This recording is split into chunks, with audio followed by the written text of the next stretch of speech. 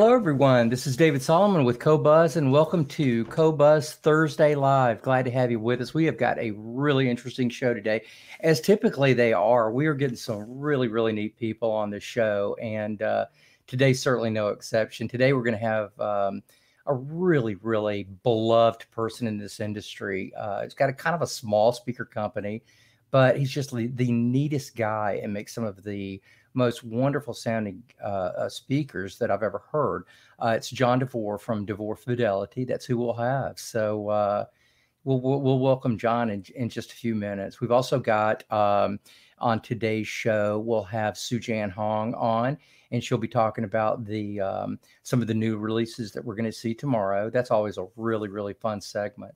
And uh, before we get started with John, I'll just tell you a little bit about Qobuz. Uh, we've got over 60 million tracks now. Um, this is really cool because it started out at around 40 million. And people were calling us all the time going, oh gosh, it's great, except you don't have this or you don't have that. And, and, and so many times, all this is is just waiting for the ingestion period. It takes a long time to ingest ingest these files, but we've gone from uh, from 40 to over 60 million uh, tracks these days. So it's really getting a whole lot closer to the other services. At some point, we'll be caught up all the way if we're not already. Um, Qobuz does have a download store too. And if you happen to be the kind of um, person who likes to either uh, own your own um, music, or if you're like in my position, I, I like to have the music uh, available um, because I like to support the I like to support artists. And I don't really have a big reason to buy CDs these days. I do buy albums from time to time, uh, but this is such a great way to support uh, artists that are on streaming because streaming doesn't pay a lot. Uh, these guys have you know, really almost have to reinvent themselves frequently. Well, like a lot of us do in, in different businesses, but the download store, I can tell you, helps a lot, and they they appreciate it uh, anytime you do. We stream up to 24 192 in FLAC, so you don't need any kind of uh, uh, a special DAC or any kind of a setup. You pretty much any DAC these days will do at least 24 192. Um, so it's really, really easy to play back these high resolution files. And if you haven't heard the difference, we've got a 30 day trial for you to, to try the difference between, say, a lower resolution service like a, oh, a Spotify or uh, Apple Music or those kinds of things. Um, if you just go back and swap back and forth, this doesn't take a whole long time to to decide if if high res is is right for you. If you're a casual listener, probably not for you. If you're just a background listener, but if you really love music and you uh, and you're very attentive when you're listening to it, and and you really want to hear every last detail, uh, we got it for you. So uh, you can also um, enter once you do uh, sign up. You can get you can get into Qobuz for about fifteen dollars a month if you're an individual uh, or about 12 uh, let's see i think it's around 1250 a month if you pay uh, annually. And then also um, we've got a family plan that we just started out too. And now you can get up to six members on your family for only like $25 a month. Um, here's a really cool thing. Get your kids on high resolution. Don't even say much to them uh, then let them try spotify in another three months or six months. There is a huge difference. And once you um, really get into what this is all about, once you start hearing parameters that you really don't think about if you're a real hard MP3 guy, try to go back after six months. You'll hear a difference even on Bluetooth, even though that's really low resolution. I just did this uh, experiment for my wife yesterday, so we uh, we certainly hope you'll you'll join us. There's another section that John just hopped on, um, just uh, either this morning. I think it was just this morning. John just sent us uh, John DeVore, the guy that we're going to have on the the uh, show in a second. Uh, John just sent us this absolutely fantastic um, playlist, but we've got playlists of so many partners, and you just would not believe how eclectic these playlists are. I listen to every single one of them. Most of them I really, really like a lot. Some of them to me are, you know, it's just not my thing, but it's really neat to see the company's different personalities. And I think you'll be able to see John's uh, personality uh, quite well uh, as, as we bring him on. So uh, without further ado, Mr. DeVore. Hi. How are you doing, buddy? I'm doing good. How you doing, man? Really good to have you on the show.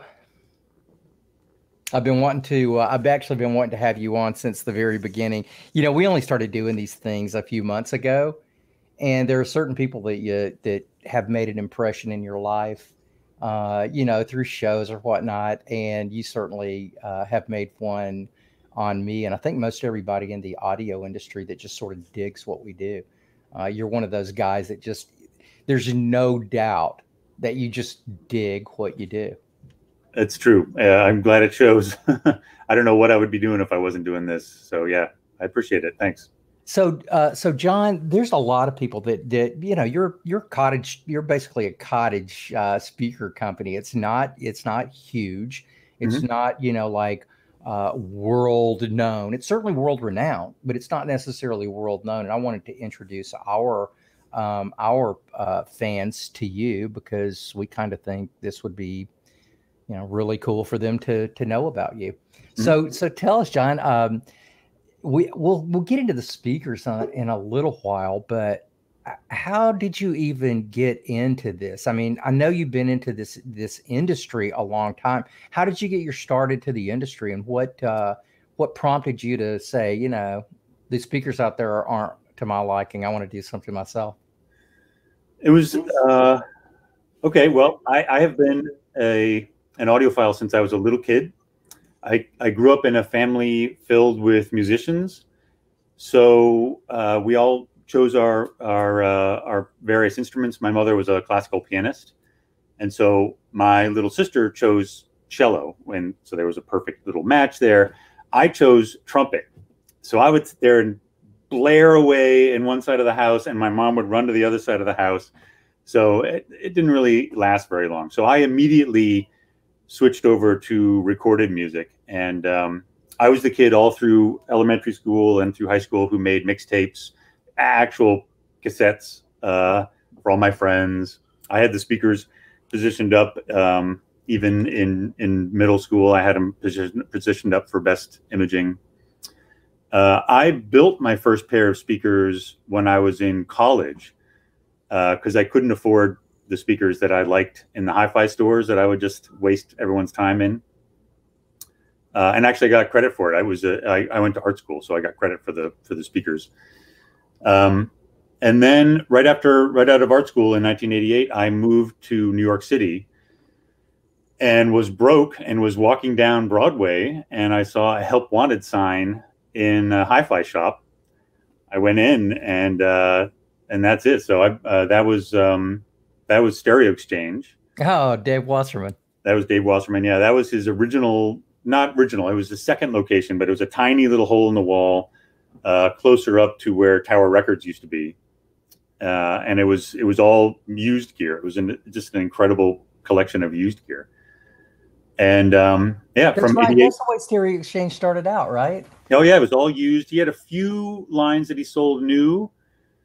Um, not right around the time that I got in in 88, in late 80s, he had opened up a second, uh, it was like on the third or fifth floor. It was a second uh, showroom where he had some high end audio new brands. And at that point, he had he had Apogee and Duntech and Threshold. There's some great stuff in there. So this was like what early '80s. This was late '80s. Late '80s. Okay, yeah. yeah. Um, but I worked in the used department, so I was messing around with you know McIntosh and Altecs and crazy Hartsfield subwoofers, and I mean there was a whole there was a whole. Uh, I mean it was yeah it was it was an amazing education. I got to hear just whatever anybody brought in. You had to be up, become an expert on it. I heard everything. Yeah, I mean, I heard all the high end brands that we didn't carry. So I heard Krell and Levinson and everything. Um, I got to hear whatever combination I decided I wanted to to mess around with.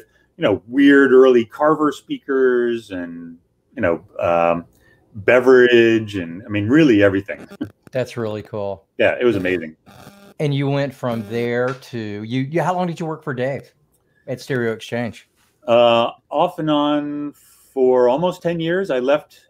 Uh, I was sort of, I was part time while I was kind of uh, doing other things as well in the city. And then in 96, I went to, I went over across town to work for Andy Singer. So I went to Sound by Singer at that point. So you were selling some of the best gear in New York at that point. Yeah, yeah. That or was, Andy certainly would have said so. That oh, certainly. we if there's one thing Andy is not lacking in, it's uh, a self of uh, self uh, a sense of self worth. Andy's exactly. certainly certainly there. Yeah, but hey, listen, it, it really was some of the best gear around. I mean, oh, it, it absolutely was. He was yeah, it was. He was obviously he was up there in the in the in the top tier with Mike K. You know, selling out of uh, Lyric and yeah, it was it was a it was, it was I, when I realized actually Stereo Exchange was to some extent, but it was actually a tourist destination in the city for a lot of people. You know, weird audiophiles from Europe or or Asia would show up at Sound by Singer with cameras, just like, whoa, you know, look at the look at the gear they've got on. Oh, you're Andy Singer. Oh, can I shake your hand? Yeah. So uh, it was a uh, it was a interesting time. It was fun. I, I could uh, I couldn't agree more. That that was a super super interesting time in audio, and you were really mm-hmm. coming up uh, when some pretty amazing technology was being de- developed in speaker. So if you went to work for Singer, did you open some? And you were opened in like early the early two thousands, wasn't it? Yeah, uh, I actually started it right at the end of two thousand. So you were you were able to hang in that in that uh, environment for th- three and a half four years. Uh, well, yeah, oh yeah, in in Singer, yeah. I actually so I started the company. Um, a friend of mine, a guy who actually met, uh, we worked together at um, at Stereo Exchange. This guy, Steve Michaud, he actually decided he wanted to start. This was at end of towards the end of the '90s. He wanted to start selling uh, these really cool old Sherwoods and Scott, these little vacuum tube integrated amps, these vintage, you know, 60s, 70s uh, integrated amps out of his home in Brooklyn um, but he didn't want to sell them with the the contemporary speakers, which would have been you know uh, Cerwin Vegas or Big Altecs, because those tended to be first of all in rougher shape, but also much larger, really not appropriate for most New York apartments. So at that point, I had I had been building speakers already for a couple of decades, and at that point, um, I was like, hey, you know, I'll build speakers, at least speakers for you to demo the gear on, and if you sell any fine. You know, I'll build them. I don't, I'll build them in my kitchen and, you know, whatever, it's fine. So that happened. Uh, so it was kind of like a soft start for the speaker company. And then pretty quickly, Steve decided he wanted to open a storefront and he opened in Living Stereo um, about four blocks away from Sound by Singer where I was working. And I was like, so what are we going to do? Uh, so I actually, I designed an act a, a, full line of speakers, a little bookshelf speaker, a, sta- a, floor standing speaker, made these these quick and dirty brochures, and the start the speaker line started, and Andy didn't even know it. So I had a speaker line in his competitor, and Andy didn't even know. I was still just part time. I was like, oh, that that artist musician guy John, he breezes in, he sells a couple of big systems and breezes out again, you know. Um, so one, it was started to get a little silly you know, I was really it was it was playing with fire trying to pull one over on Andy Singer. So so one day after work, I took him out to Martinis across the street and uh, handed him my brochure, and he read it. He put his martini down, and he looked at me and he was like, "You started a speaker company and you didn't tell me." I was like, I was ready to be fired. I was, you know, whatever. And he was like, "Well, we have to sell these, right? You know, and I was like, well, I already have a dealer in New York. he was like, what is wrong with you? So uh, yeah, so the, my first two dealers were in Living Stereo and Sound by Singer.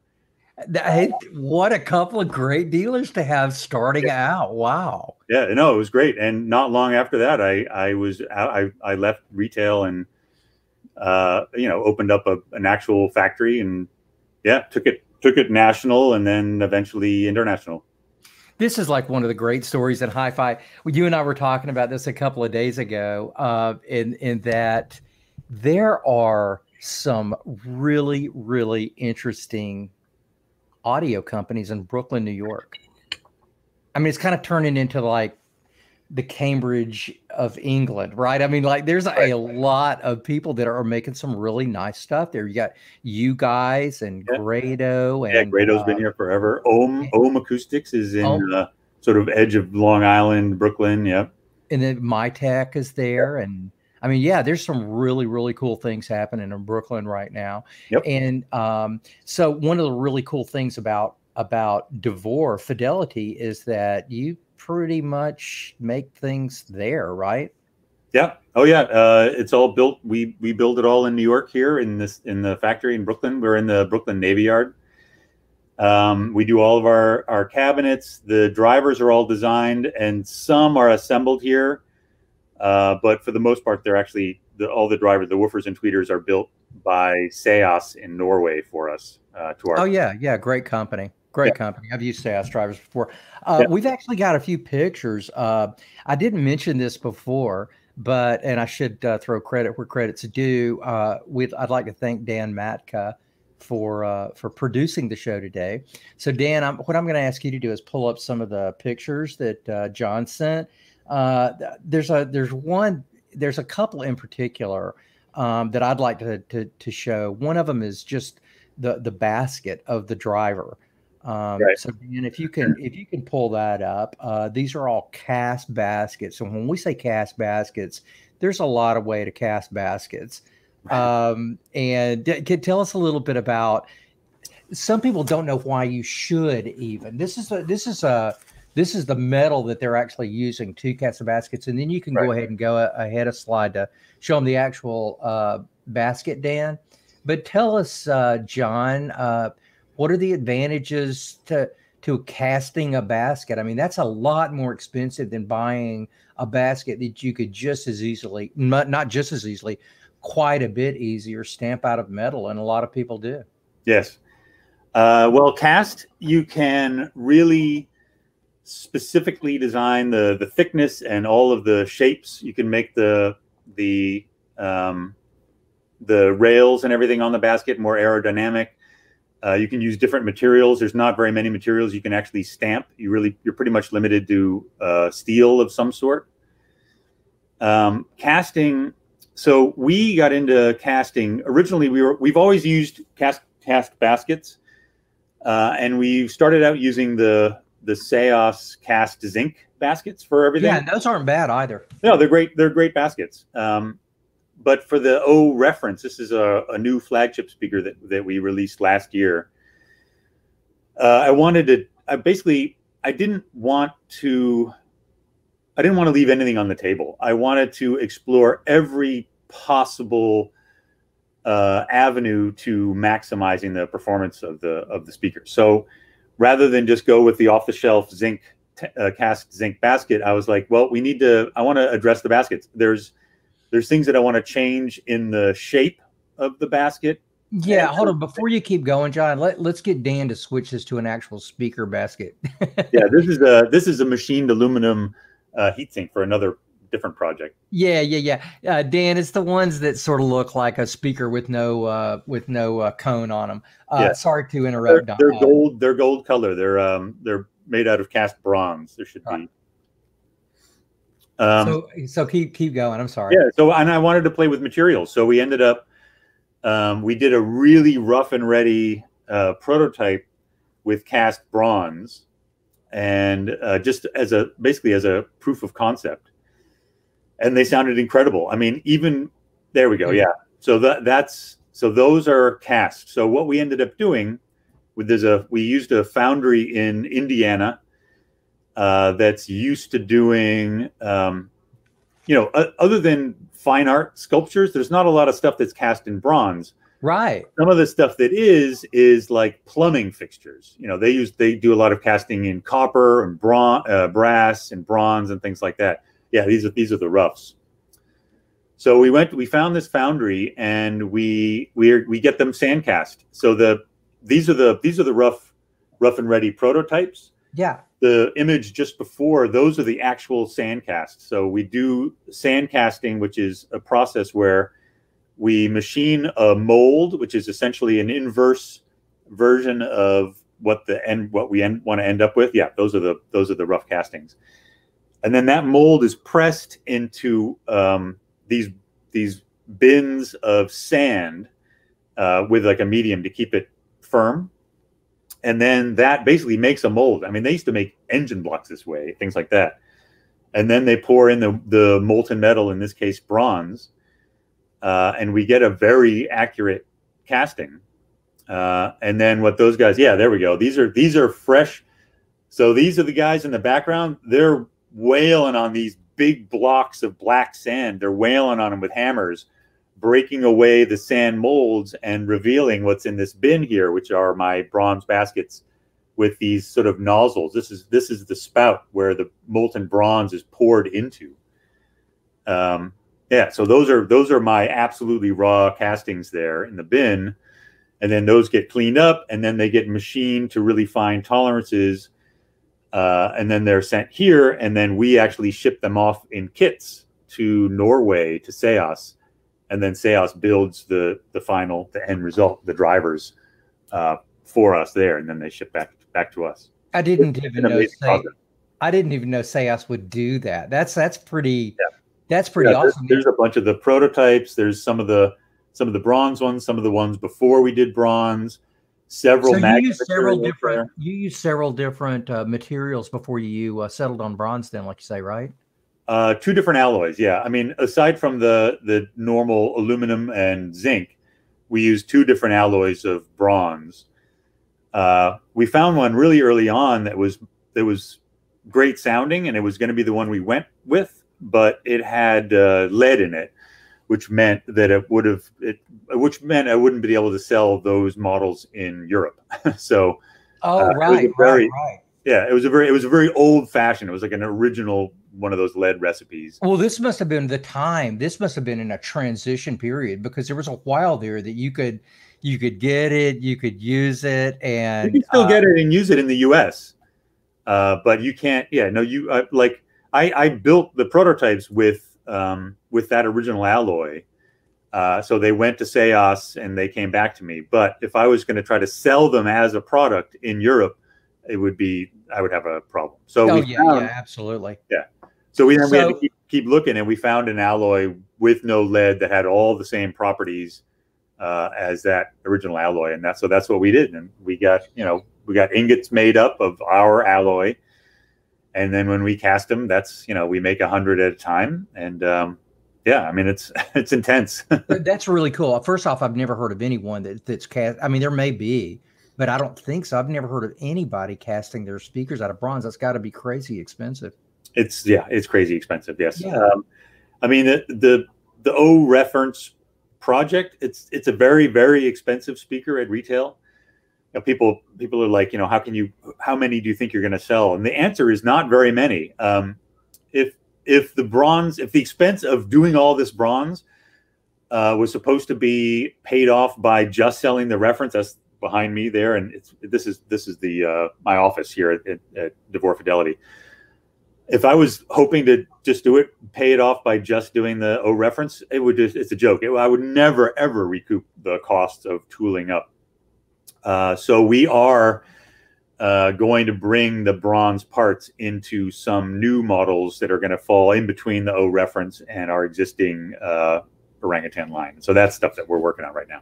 Yeah, for a company uh, for the company of your size, any kind of efficiencies like that go a long way.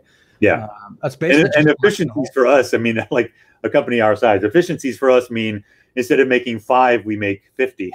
there's never any hundreds or thousands with with Devore Fidelity. But yeah, you know something. There's a lot of there. There's a lot of people out there that dig the whole exclusive thing. There's not a lot of people that have these, but the people that do have them, uh, they're huge, huge fans uh, yeah. for obvious reasons. So you know. when I first, when Dan Matka, when, when I first met Dan, uh, this was only you know a couple years ago because we've been Dan and I started just about the same time. I think I started like a month or so before Dan did. Right. Uh, so we, we've really pretty much been into this thing about the same time. And Dan and I didn't know each other. Uh, well, Dan was from the record industry, right? He he um, he did management and promotion, and he did this for years and years. And so I, I go to Dan and I'm going, um, you know, you're a record guy. None of the record guys have got decent hi-fi. None right. of them. I mean, right. it's like if they do, somebody gave it to them, right? right? But most of the record guys, they just, you know, they they listen to the records and then they move on to. Because I'm going. So so tell me, what do you have? And he's going, I can't remember the amp he got. I ended up getting him a, getting him a Hegel uh, 590, one of the big, you know, that will pull your O ring out yeah, if you pick awesome. it up the wrong way. I mean, this thing sounds great. Right. And I'm, I'm going, so what kind of speakers do you have? Let's see, at the, or what kind of system do you have? At the time, he's going, I've got this. Uh, I'm if I'm if I'm saying this right, I'm almost positive I am. He's got this Parasound preamp, Parasound preamp, which mm-hmm. is absolutely that's a great they make great great stuff yeah and he's got hooked up some little 13 watt tube amplifier i'm thinking and, and i'm going well you know that that's cool. I'm starting to get my interest peaked and i'm going well what kind of speakers do you have? And i swear i thought he was going to say maybe something like uh, I, I didn't know what he was going to say right. he says he says uh, well there's this little company that's not too far from me. Um, i got turned on to him a few years ago uh, by my brother-in-law and they're called devore. And and he's going, you probably never heard of them. And I'm going, I love that guy. What I said, I have heard of him. I've I've listened to tons of their speakers, and every every single time I listen to them, they're just totally magic. There's just something about them that are, um, they're sweet, they're lifelike, they image like a bear, um, and they're just a lot of fun to listen to. And I had been wanting to get my hands on them for a long, long time because when I demo things, it's typically a little different and a little harder than mm-hmm. when most people demo things because it's just it's just what I do. And so every time I've had an opportunity to, I, I take them to their limit, but they seem to have uh, quite, quite yep. large limits. Yep. Yeah. In fact, Dan, I think, uh, had a set of your speakers in his. Hey, Dan, uh, bring up the uh, bring up the picture of your of your uh, uh, system uh, as of a couple weeks ago, and then if you if you if you would come online with us. Yeah. So this. Oh, there we go. Yeah.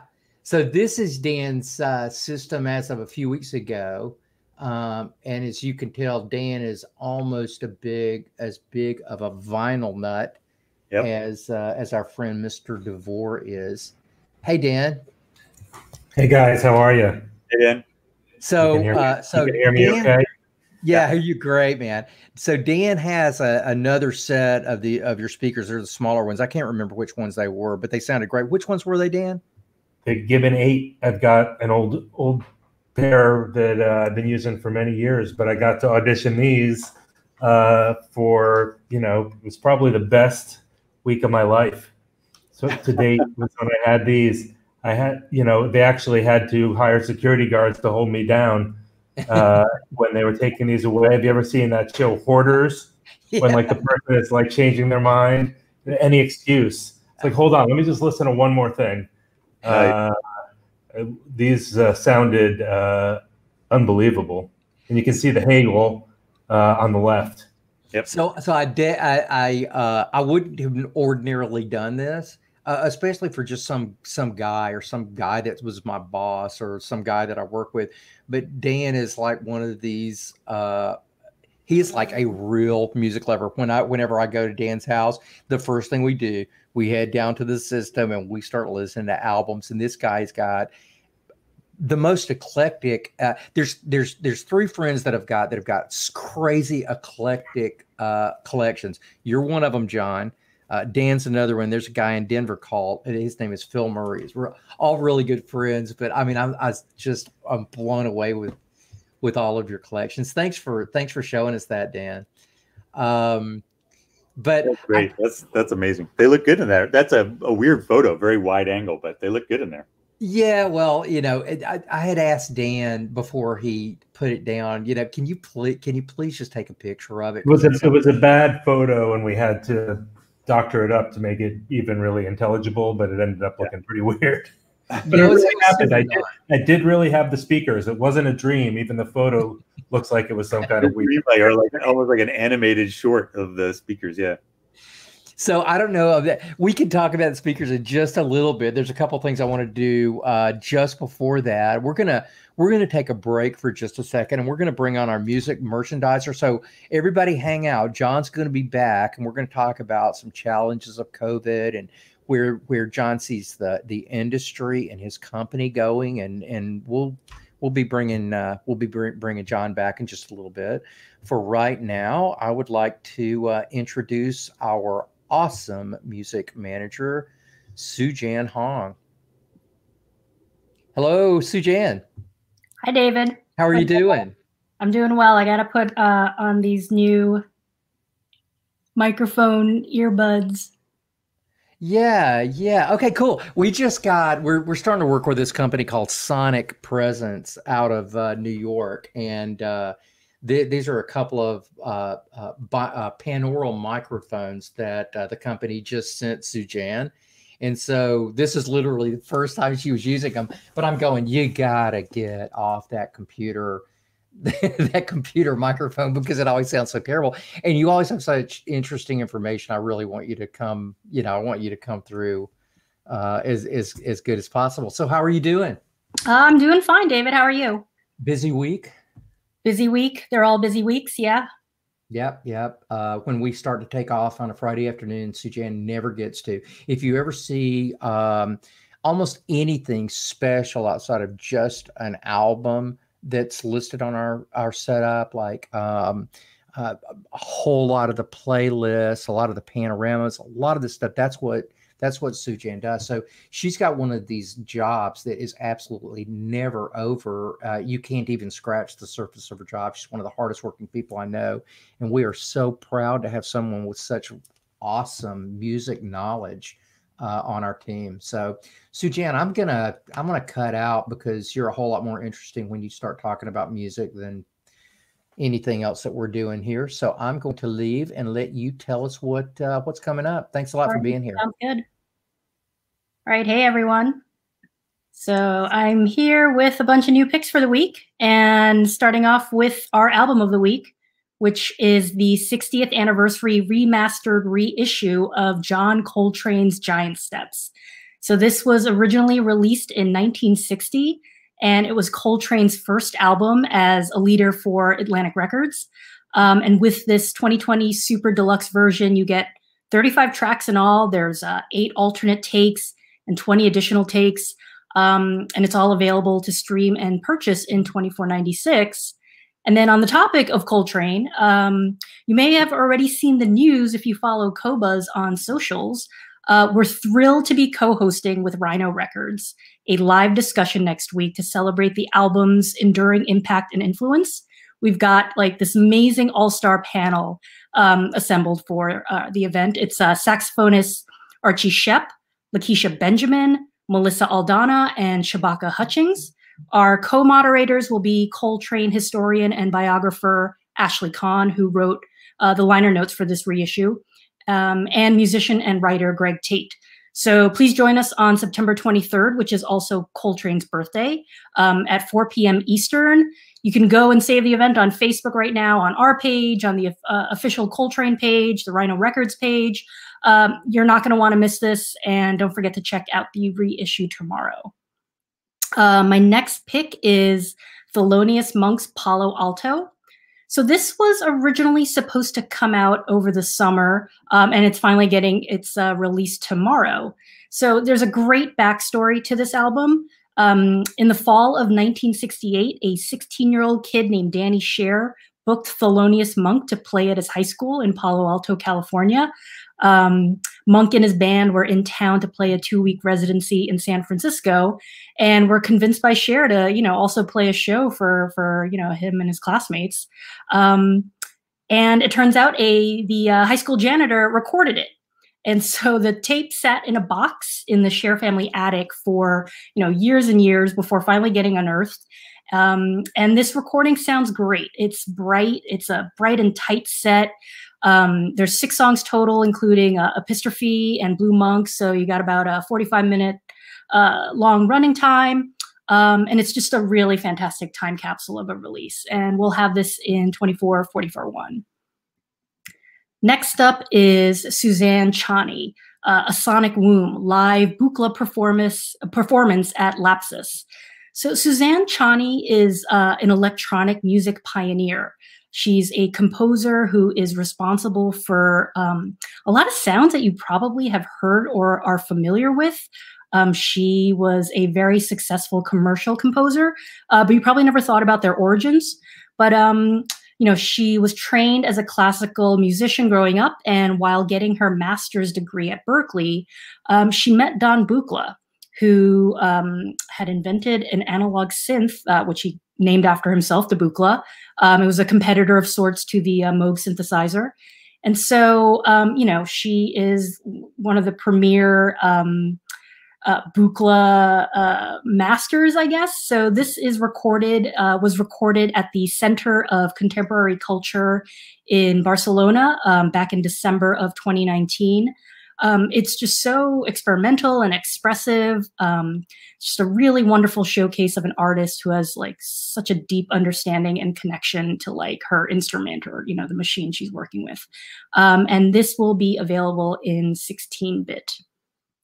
And then finally, we have Matt Berry with Phantom Birds. Maybe some technical difficulty. Anyway, um, if you are like me, uh, your TV consumption has gone way up during this pandemic. And so one of the shows I have caught up on is this ridiculous oddball show called What We Do in the Shadows. It's about a bunch of vampires who live together in a house on Staten Island. Uh, so one of the main vampires, Laszlo, is played by this British actor comedian called Matt Berry, um, and he's also a musician. So this is his country tinged folk album. Um, he's joined by pedal steel master BJ Cole. Um, you know, that's him playing pedal steel on Tiny Dancer. Uh, and drummer Craig Blundell, who has also worked with uh, Steven Wilson and Steve Hackett. Um, so yeah, basically, I wanted to mention this album because I like it, but I think I also really just wanted to give the show a shout out as well. Uh, we've got a bunch of Matt Berry's other records on Qobuz, so check them out. Check the show out as well.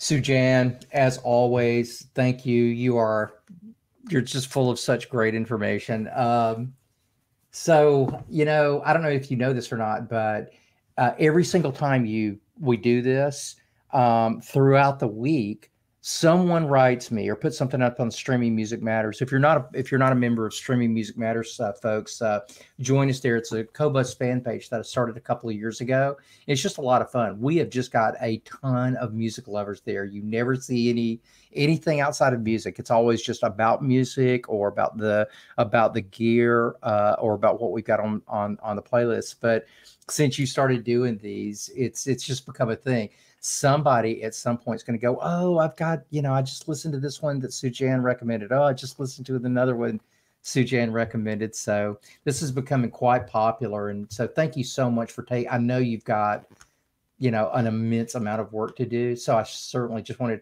thank you for being here and doing this a lot for oh, us. It's, it's my pleasure. And it's great to hear that people are enjoying this segment. So thanks. Absolutely. Well, we are going to say goodbye to uh, Sujan, and we're going to bring back in Mr. D. How you doing, buddy? Good. Good. Good. Giant steps, giant steps, giant steps. Everyone go and listen to that. Not right now, as soon as this section is over. Naima is one of the most beautiful songs ever written by anyone ever. So, uh, how would you know? You never listen to music. That's such a great album. Okay, I gotta I've gotta say something about this. John has is, has started. I don't know, a few months ago, I guess, John, maybe two or three months ago, this this album review thing that you're doing. Yeah, yeah. Actually, uh, when COVID shut down New York City, um, I I did couldn't have any employees, but I have there's as you can see, uh, I have two cats. Uh, this is one of them. This is Roxy. I have two cats that live here at the factory so I was coming in um, to feed the cats and hang out and you know just do whatever I could. And uh, I just I I started a DeVore Fidelity YouTube channel, and uh, most of the content is me talking about some of my favorite records. Uh, which I absolutely love. There's not there's not one there that I don't love. Um, it it's just um, it's it it's it's a great way to learn about music from someone else's perspective, which I'll always find extremely interesting. Interesting, particularly if they're not a shallow person, and and you're not. You really get get down. we just got, and if you guys don't have it, uh, we just added uh, a, a DeVore Fidelity playlist. And uh, look, you got to understand, I just started talking about this with John. I guess it was later, la- late last week, sometime, right? Or Yeah. mid mid week last week sometime. And I'm going, John, look, I love your your uh, your album reviews, and we need to put a DeVore Fidelity playlist. Could you? maybe just take a few selections from the ones that you've um, that you've that you've uh, um, reviewed. And he's going, yeah, man, that's like easy. Everything you talk to John about, it's like, oh, that's easy. Uh, so, like within just a couple of days, John had us this um, uh, this this playlist, which I think when I say a couple of days, maybe it's two or three when he started working on it. I just got it last night, and I got to start listening to it. And I got to tell you, folks, and I don't tell you about this about everybody's playlist. I think I told you about this about uh, Andy Kerr from Bowers and Wilkins. He has a really, really cool one out. Uh, this one you are going to want to listen to, especially if you are like that. Uh, most people listening to this, or at least the people that are on the Streaming Music Matters and Qobuz page, know that I'm kind of a I'm a rhythm and blues, you know, thick soul kind of guy myself. And so when I started listening to John's selections, it just just did me. And then he's then he goes on into some classical and then kind of back out of that. But John, I got to tell you, uh, you've got to continue to add to this uh, because it's just crazy interesting and it's it's not just interesting; it's fantastic music. I've enjoyed almost every single cut. Thank you. Yeah. I mean, basically, I I had no I just I the the YouTube channel is basically just me thinking about what record I want to talk about, and I've been. Um, it started out I was only doing live records because uh, because COVID COVID shut down all venues, so there was no way to hear live music. So I figured all so all the the first half of the the music that I talk about is all live albums which is why there's a lot of live cuts on that on the playlist. And then um, because of you know what's sort of happening in the in the country and in the world, I started doing uh, protest albums, um, and they're protest albums of of all sorts. Uh, some really obvious and well known, and some sort of maybe uh, people might not have thought about them as a protest album, you know, uh, until you really sort of hear it in context. So um, yeah, but I couldn't believe how many of the albums were on Qobuz of that because I was just picking, you know, I, I, think there was one of all of all the videos I've made, there was only one album that I didn't find on Qobuz, which I I was blown away. I couldn't believe it. So yeah, so every every track on there is related to one of the videos that's that's up already, and every time I do a new video, I will I'll absolutely I'll put it on the uh, I'll add it to the list. Yeah. So as we weave and bob between um, between speakers and hi-fi and and, and music, um, you know, that's exactly what I want to do. I want to go because it's all related. It's all so related, especially when you have a, a crazy uh, big music lover like John. Um, so really, my suggestion is go to to uh, uh, DeVore Fidelity on YouTube and check out these videos. You're, what you will find is, besides someone with a a, a really likable personality, you'll find somebody that knows a lot about music, especially about the music that he digs, and the way that he talks about it is uh, very personal, personable. And every single time, John, it makes me want to you know, if I don't have the album that you got, which I probably don't, I, I put I whip it out on Qobuz and and uh, and play it every time. But yep. there there'll be a lot of music on here that you won't even know. I promise you, most people will not know all of the artists on these um, on these on this playlist, or even the ones John talks about. So, you know, check John out. It's a it's it's a lot of fun. Uh, all of them are. So thanks very much for providing. I'll, I'll look at that as a service. Cool. Yeah, and and you know, for me, the more people who listen to any kind of music, I mean, some people they like to listen to music a lot, um, but maybe they just they're intimidated by the idea of trying to get into jazz or intimidate. You know, I mean, Giant Steps. If you don't know anything about jazz, just go listen to Giant Steps right now. I mean, it is that's one of the quintessential jazz albums. Um, Okay. or uh, you're, you know, you're terrified of classical. I mean, it's there's there's a lot out there, um, and it's hard to find out information about a lot of that stuff. It is. It is because there is just so much of it out there. You know, Yeah. you, you really, you, you and I uh, uh, are very similar in that um, anytime I've got spare time, eh, which isn't like that frequently, but that that's what that's what I'm doing. I'm listening to music. It's it's so much more interesting to me than the the tel- the television is. Um, Oh, yeah. plus, I just hate the way everything's being manipulated these days anyway. So, my, my wife and I, we're just staying away from the the the one eyed monster. And every night when she gets home, she's a school teacher. And when she gets home uh, after her uh, tutoring, uh, we sit out on on our deck. We'll have a glass of wine. We'll just throw up a big Bluetooth speaker there. So it's not even about the you know overall quality of the music. It's just like Right. I want music playing. It's part of my life, and that's Absolutely. what I've chosen it to be. And and I love that choice. I've had uh, I've had customers write to me, uh, you know, over the course of the 20 years that, that we've been in business.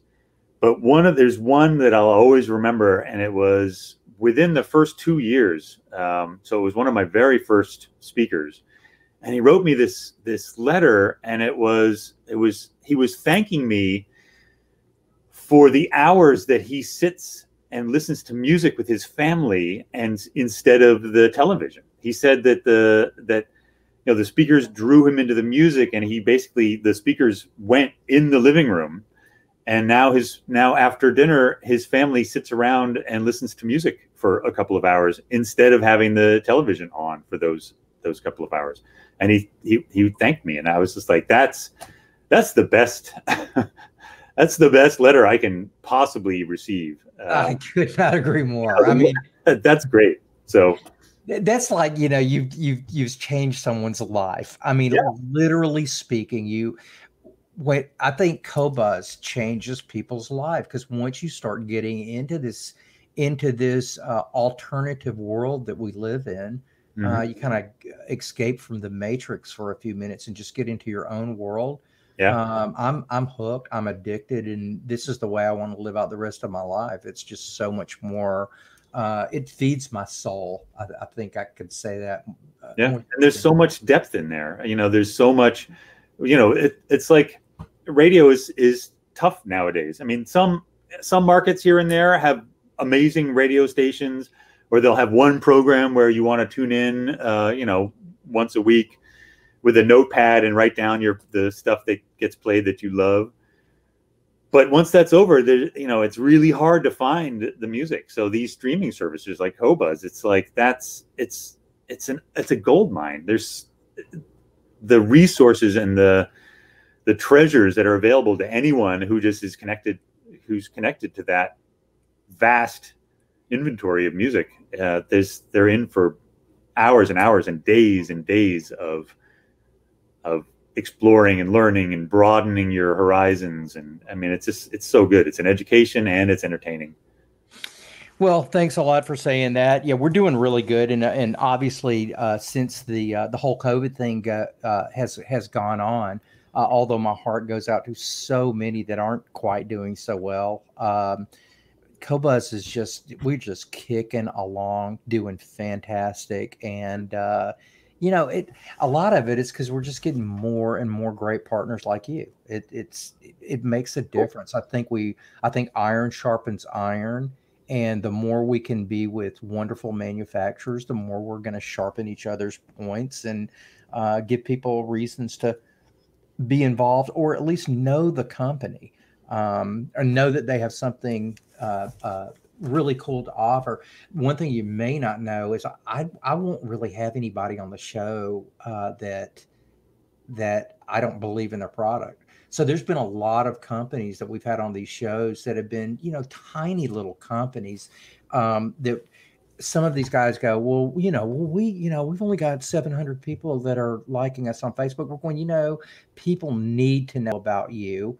Um, Right. And so there's a few companies that I seek out. You didn't seek me out.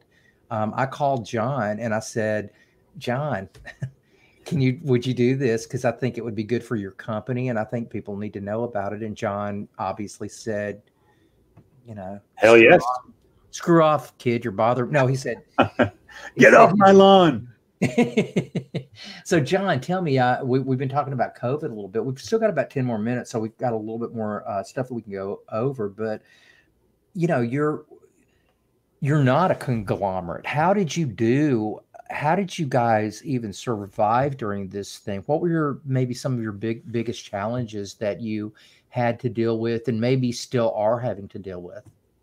It was um yeah, no, it was it was a bad period. Um I know I know for the for the hi-fi industry in general, um it wasn't universally bad uh and a lot of people I think were were right in thinking that okay, a lot of people are home now uh, way more hours than they would normally be. And so they're in front of their hi-fi system and they're thinking you know what can i do? You know i've been thinking about getting a new streamer. I've been thinking about upgrading the cables whatever it is so a lot of my shops have actually done okay uh, even though they've been shut down uh, we you know when new york shut down and the um, all businesses shut down uh, there were no, I, I, couldn't have employees, which is, you know, the, the lemon of the lemonade obviously was partly was my YouTube channel. But um, in addition, uh, I think with, with speakers uh, and, and hot, more expensive speakers like what we make here, um, I think the customers really need to see them, touch them, uh, and hear them before they buy them. And so our, our sales dropped to zero for almost three months. So it was it was very scary for a, while here. Um, but the actually federal assistance came to the rescue. Um, our our landlord, we we are in the Brooklyn Navy Yard here, so our landlord is is part of the city of New York. So we re- we negotiated some rent relief there, and um, and we got some federal aid. And so now, as sales have, have really come back up to what we would expect for a normal um, for a normal September, uh, now we're looking at ways that we can um, expand a little bit, but also kind of stabilize. Um, you know, we've at this point we've been around since 2000, so we've seen a few nightmarish scenarios. I mean, we right, saw 9/11. Right. You know, everything in New York was, uh, you know, everything everything in the world slowed down from 9/11. That's right. We got through that, then we got through 2008, where everything just collapsed. The financial center of New York City collapsed, uh, and then uh, COVID. So you know, you know, I, I feel I'm happy that uh, my little agile company has has made it this far, and now we're um, we're really looking hard into trying to, you know, spin some good some good stuff out of out of all this uh, out of this experience. One of the things that we didn't talk about, uh, but I do like to keep it real uh, for people, is um, you know we didn't we we've said oh well they're kind of maybe pricey a little bit. They kind of are if you don't know what you're getting inside. Uh, I don't really look at them like they're they're they're crazy. I mean, people are selling hundred thousand, two hundred thousand dollar speakers these days. I look at right. what you put inside of them, and and uh, knowing that these are all you know, pretty much handmade, uh, every single one of them with uh, with uh, thirty seven point three percent love. Um, we go. um, um, oh geez. Oh, what what are they? What are they? Pro- the price ranges. So, like, if you were just wanting to get into uh, DeVore Fidelity loudspeaker, uh, what would be your what would be your opening? You know, what what's your ante? Currently, uh, the Orangutan 093 is our least expensive speaker, and those are in the U.S. They're uh, 8,400 a pair. Um, then 9900 and then you know there's there's several uh, speakers above that our most popular model which is the one that was in dan's living room for uh, for a couple of weeks uh, that's the Orangutan 096. Those are 13,200 a pair. Um, so when you and I, when I, we've, we've actually known each other longer than we've been friends, I guess. I mean, we, we, yeah. we were acquaintances. We're in the same industry. So yeah. Yeah. But when, you know, when I really started digging you was, um, I guess it was right around the time that I that I uh, uh, pushed myself on you at. Um, I'm trying to remember that even the the. Uh, oh, when you came in, Capital Audio Fest. Oh, it's Capital Audio Fest. Um, yeah. So, yeah. so here here's here's how John and I. that was great this is when we really kind of started talking. After that, uh, that that afternoon or that evening, we sat down. We had a we had a beer together, and we just and I and I just started going, man, I, I like this dude. I can see why uh, you're you're you're quite popular in in the industry. Um, and so uh, it, the way this the, the, the way this worked is uh, a lot of you know that I do flash DJ sessions when I go to the shows. We sponsor a lot of the shows, and I go into some of the better rooms and the ones that I really dig, and I go, hey, you know, let's do a let's do a flash DJ session. So I'll walk into John's room. He's got maybe the biggest room, uh, which means like one of the biggest investments at Capital Audio Fest. And I'm going, and, and he had these beautiful speakers there, and Luxman was with him, and I think they were playing their little their their their highest end stuff. And yeah, you told me yesterday it was only like a little eight watt was a eight watt single ended 300B amp. Yeah, so seven eight watts. Yeah. That was so it. you would have never known this, right? Uh, and I certainly didn't know. I didn't even think about it. All I was thinking is, wow, those speakers. So uh, I walk in and I'm going, um, can I do a flash DJ session for you? Well, I had done one for the guys at Luxman just uh, I think the year before, and they just flipped out. They they couldn't. They were oh gosh, let's do this again. So I said, okay, you know, now they're here, but they're here with DeVore, and I get to listen to these DeVore speakers. At the time, we were listening to the big Harbest, which are not cheap either. Mm-hmm. So we, uh, I get in there, and and um, and John finally kind of, you know, uncomfortably says, "Well, okay, if you if you must. I mean, it, it wasn't quite that awkward, but I could tell he was like, I'm going, if this doesn't turn out well, this guy will never talk to me again as long as I live. That's true. So that, that's true. That's what it would have happened. Yeah.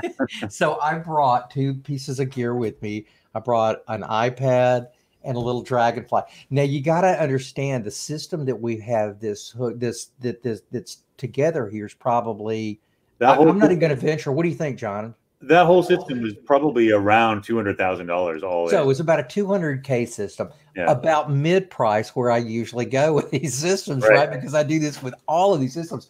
So I'll walk in, I bring this iPad, I bring this Dragonfly, and John looks at me like I've got twelve eyes. He's going, "Are you?" I mean, I could see it. He didn't even have to say it. He's going, "Are you kidding me? What is this guy going to do?" So they they let me hook it up to it. I could tell. So I put on the first thing, and everybody's going, "Wow, man, that sounds." Remember, the whole room was like, "That yeah, was yeah. awesome." Yeah. So I'm thinking, okay, well, that's kind of cool. But I was looking over at John. I already knew I was going to do like three tunes. I wasn't going to be gauche and take over the system. So I did my three tunes, and and and I look over at John. I said, "Thank you so much for, you know, let me play the system." And John looked at me. He said, "Oh man."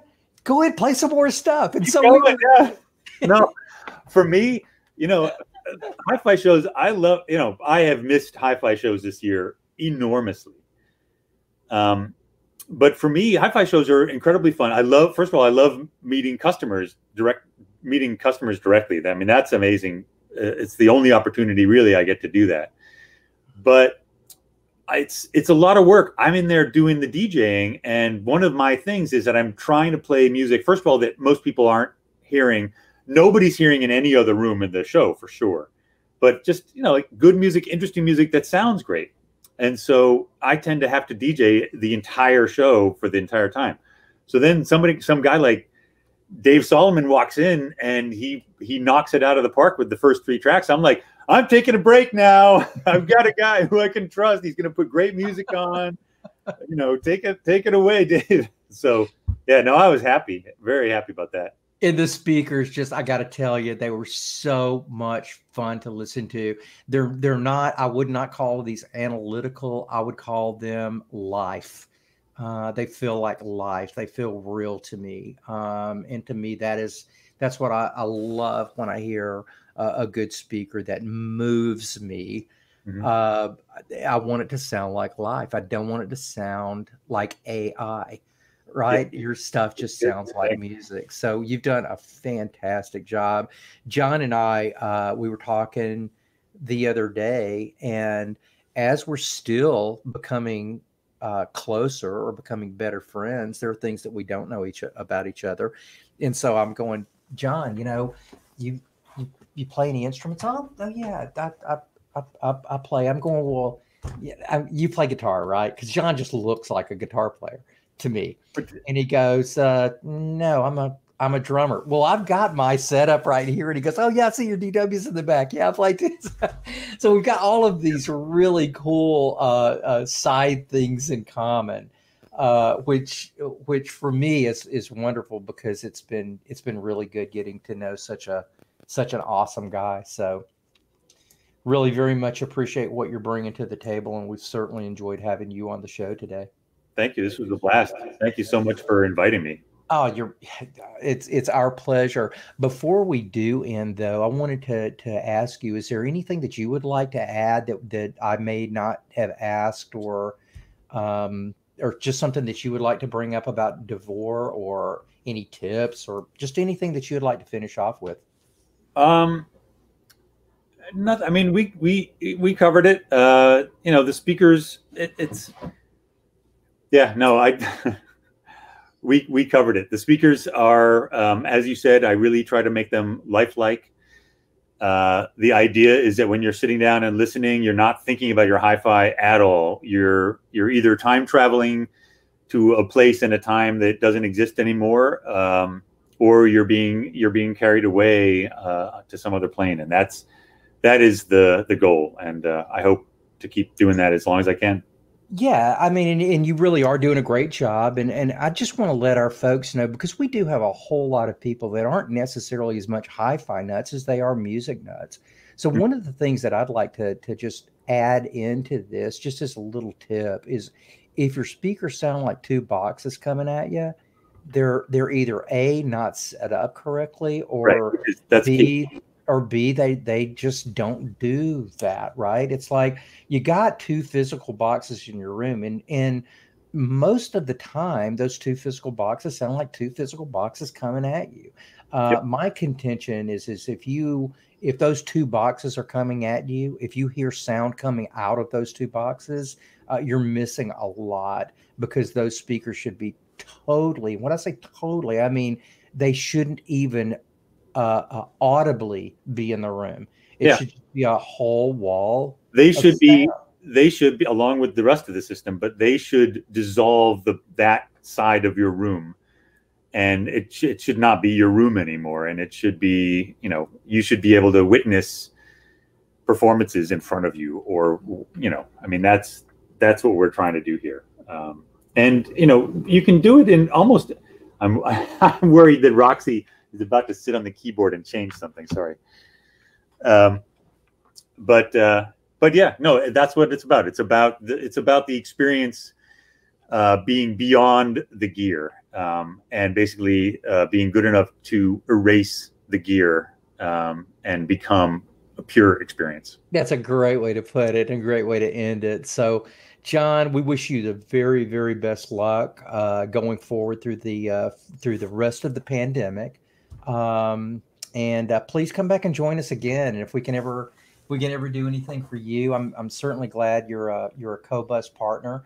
Uh, for those of you that uh, that uh, haven't visited John's, you know, hop by on the YouTube channel or hop by on his website. Um, so, everybody, I'd like to thank you again for joining us. Dan Matka, thank you for producing. Uh, Sujan Hong, thank you so much for uh, being here and turning us on to some some more music. I can't wait to go hear the uh, the new album. So, um, thanks again, everybody, and we'll we'll see you next Thursday with Sonic Presence, which is going to be a whole lot of fun.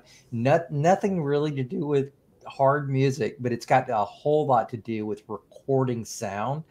Uh, and now uh, with Sonic Present, Presence microphones, yeah, almost anybody can come become a, a professional recording engineer uh, with just an iPhone or an Android and a couple of these mics you put up around your ears that are 114 dB um, signal to noise ratio. So they're like it's like real gear. Uh, stop by and listen to us next week because that's going to be a crazy fun and a really interesting, um, a, a, really interesting session. So until next week, I'd like to uh, say goodbye and